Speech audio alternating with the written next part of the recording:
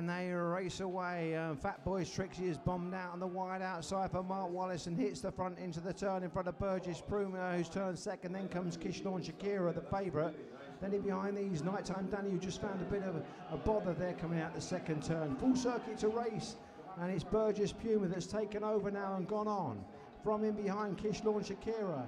Uh, then comes Nighttime Danny trying to pick up along with Deadly Dulago who's staying on as they go into the fifth turn. It's Burgess Puma. On the shoulder is Kishlawn Shakira coming through the challenge. In behind these comes Nighttime Danny and Deadly Dulago. It's now Kishlawn Shakira. Shakira, she's hit the front. The track record's gone on and won it from Deadly Dulago, who ran on really well for second. Nighttime Danny was back in third. God